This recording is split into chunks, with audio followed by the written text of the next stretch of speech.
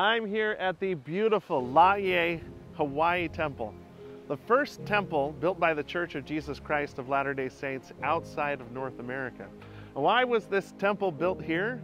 Well, this is a really important church history site because it's the first temple built outside of North America. Hawaii wasn't even part of the United States at the time, and it's the first step that the church makes onto the international stage, leading today where there are more than 300 temples being built all around the world in a number of diverse locations, bringing the temple to the people.